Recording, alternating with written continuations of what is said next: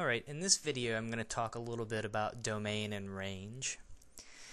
And in general, finding a domain is not so bad. Finding the range of a particular function um, or formula expression that you're given is going to be a bit more complicated. But first off, just to give you some intuition, Let's look at my first graph here, and you'll have to forgive my uh, artistry. I am not an artist.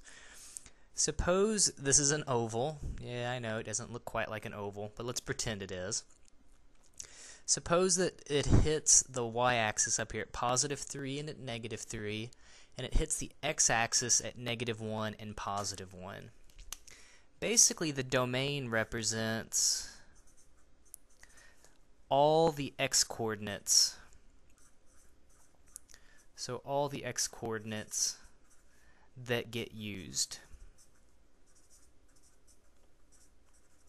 So what I mean by that is, imagine, okay, so for example here at the top, this is the ordered pair 0, comma 3. So 0 is going to be a number in my domain because if I list all the points on this graph, at some point I'm going to use the x coordinate of 0. And let's start at the top and think about what happens. As I move to the right, the x-coordinates are going to get bigger, bigger, bigger, bigger, and bigger until I get to 1. Then they're going to actually decrease until I go back to 0. And now the x-coordinates are going to decrease, decrease, decrease, decrease until I get to negative 1. And then they're going to start increasing again. So if I were to write down all the points on this graph, and there's infinitely many, so we don't want to do that, you're basically going to get that the domain is all x values between negative 1 inclusive, because the point on the far left would be using negative 1, all the way up to positive 1 inclusive.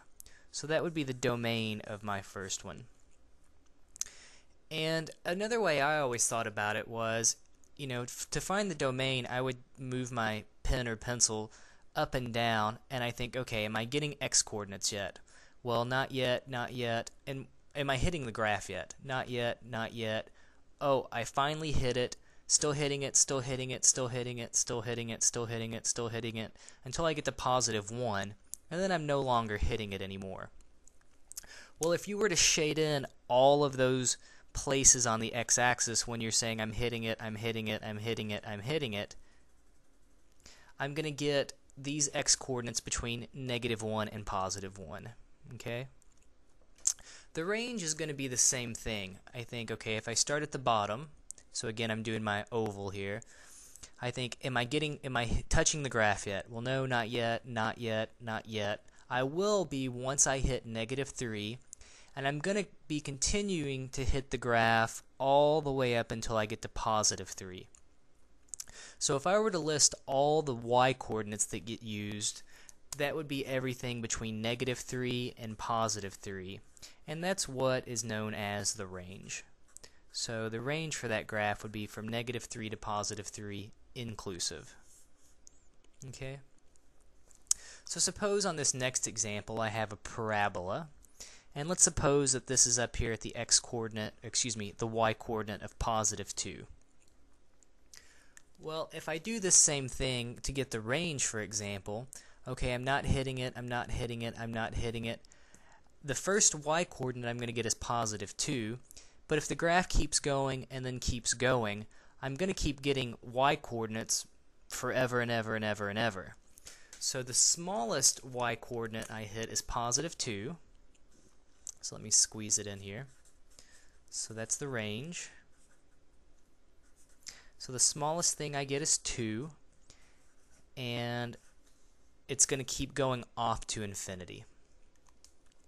And to do the same thing for the domain, if this thing keeps spreading out to the left, so let's make it a little more lazy. It keeps going to the left, and if it keeps going to the right, again, obviously I can't draw the entire graph, but if it keeps going off to the left and it keeps going off to the right, Okay, certainly I'm getting an x-coordinate of 0 right at the middle. As I move to the left, I'm still hitting the graph, still hitting the graph, still hitting the graph, still hitting the graph.